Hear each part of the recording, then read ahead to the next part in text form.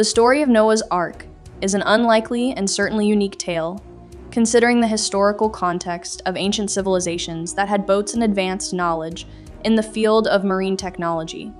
The Egyptians, Mesopotamians, and Phoenician civilizations were known for their expertise in building and navigating various types of watercraft. They have been used for thousands of years for fishing, transportation, and exploration.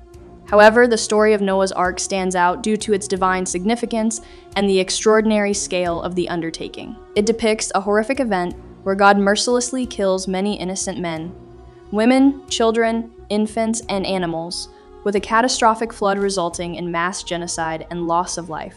As for the fishermen and other civilizations who had boats at that time, the story does not directly address their whereabouts or actions during the flood. It serves as a chilling and disturbing reminder not to make God angry and live in fear of his wrath.